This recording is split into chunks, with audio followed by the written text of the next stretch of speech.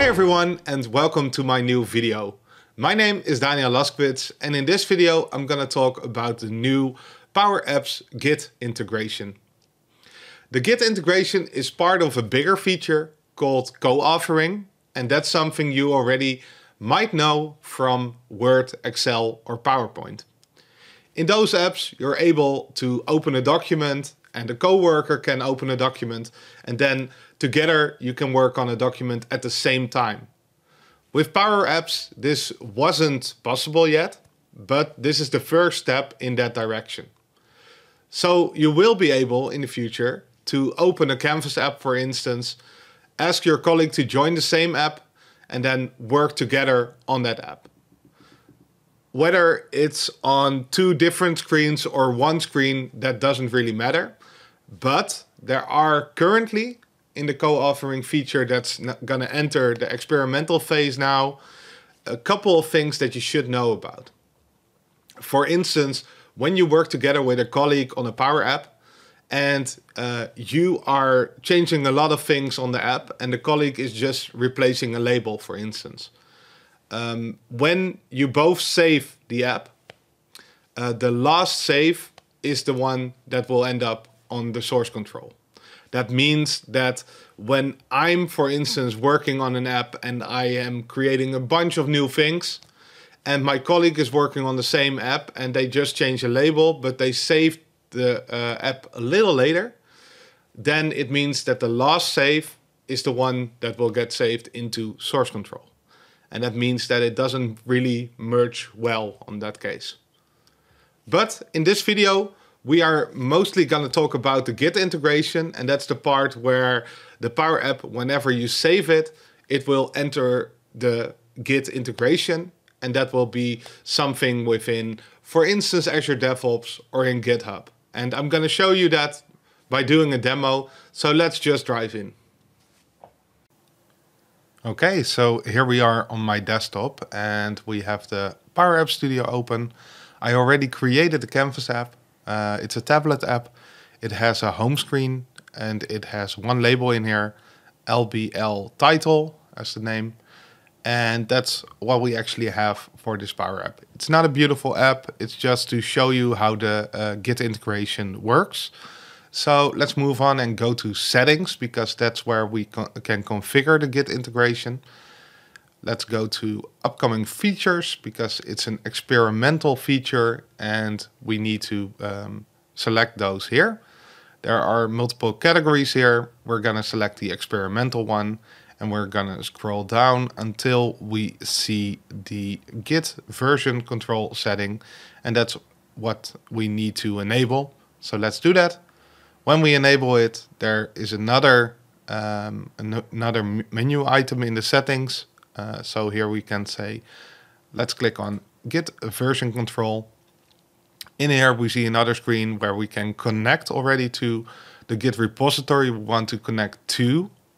So if we hit connect, we can actually start and um, we can select a Git repository URL. In this case, I'm gonna go to GitHub and I'm gonna create a new um, repository here. I'm gonna uh, create this and call it Git. Uh, let's call it Git Power Apps. You can select a private uh, repository. That's always the best to do because otherwise everybody will see your source code. And in this case, uh, private is the better option. Uh, for now, I'm gonna select add a README. Um, it will set the main branch as the def default branch. So that's something that you should remember as well. When you hit create repository, it will start creating the repository. And we already have a README in here. We can see that we have the main branch here. Uh, for now, I'm going to copy the URL of the repository. I'm going to go back to Power Apps. I'm going to add the uh, repository in here. And then for the branch, we can use main. So let's switch back and see, yeah, it's all um, lower case. So here is main. For a directory name, we're gonna use power git because that's the name of our app. And um, it's always nice to see a directory in here. So when you do that, um, the directory will be created. So if we look at the Git uh, repository, there's currently only a readme.md. But when we have enabled the Git, um, the Git integration, it will also create a directory there where all the contents of our app will be in. Let's hit apply. And now we need to add our username and password. The username is pretty easy because that's the name that you can see also in the URL. So that's the username. But the password, because I have, for instance, multi-factor authentication uh, enabled, I need to create a um, token, and I can do that by clicking on my uh, my icon and then on settings. And then I need to scroll down a little bit because the thing I need to do is uh, hidden away in the developer settings part. When I select the personal access token, I can create a new one. And uh, I'm going to use uh, Power Git as the uh, name. I can set an expiration here. So if you want to uh, make it a longer um, uh, expiration, you can do that. You can also use no expiration. That's not uh, something that a lot of people want you to do. So make sure to do a, a shorter period than no expir uh, expiration. In this case, I'm going to do seven days. I'm going to select repo as a scope. And I'm going to scroll down and generate the token. Now I have a token here. I can copy it. I can go to Power Apps and I can paste it. When I hit the sign in button, it will already sign in.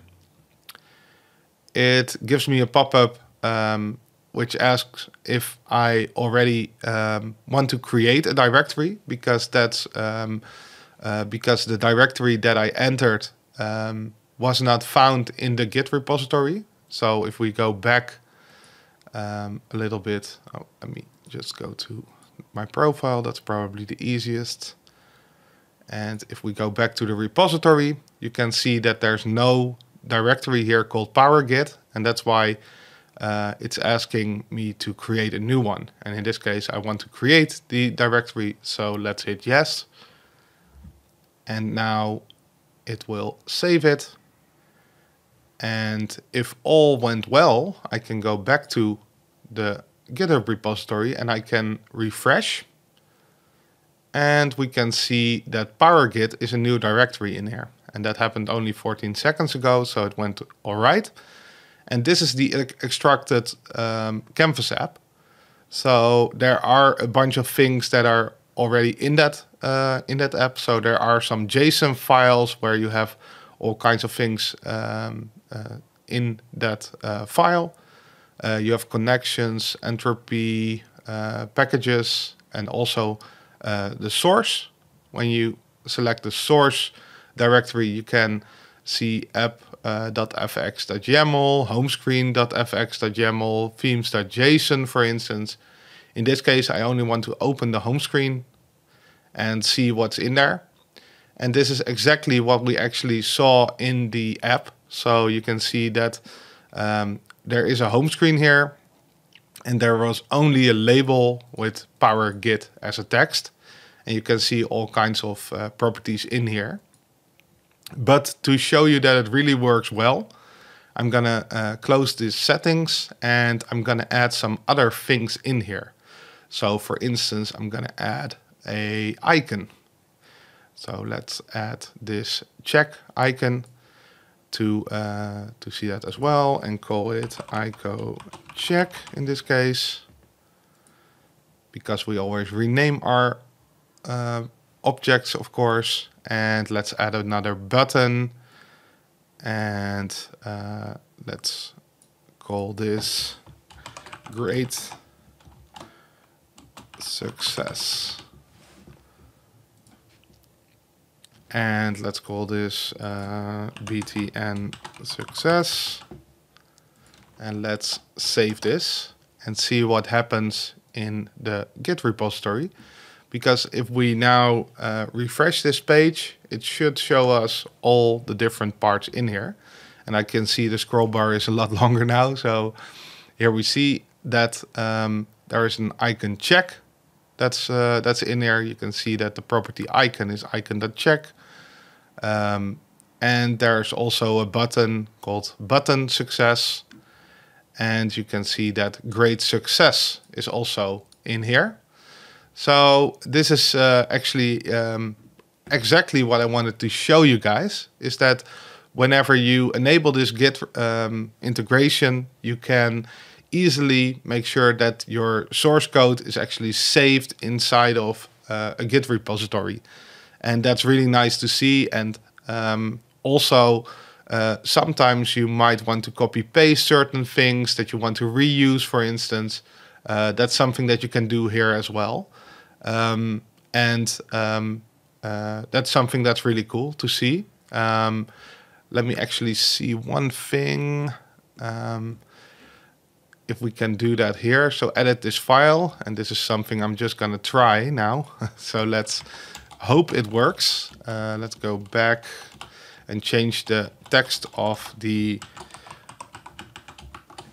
button that we have and let's commit it. So let's add that here and now go back to the Power App and hit the refresh button. So let's check for changes and see if this works as well. So it's loading.